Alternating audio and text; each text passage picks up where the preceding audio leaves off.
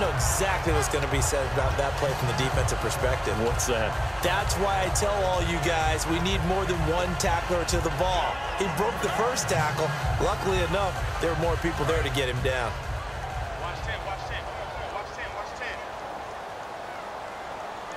They'll come out in the pistol. They'll run with Darkwa. And he's got room. The 20. And he'll cut it out. And all the way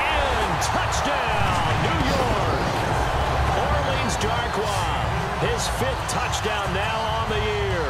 And the Giants are in for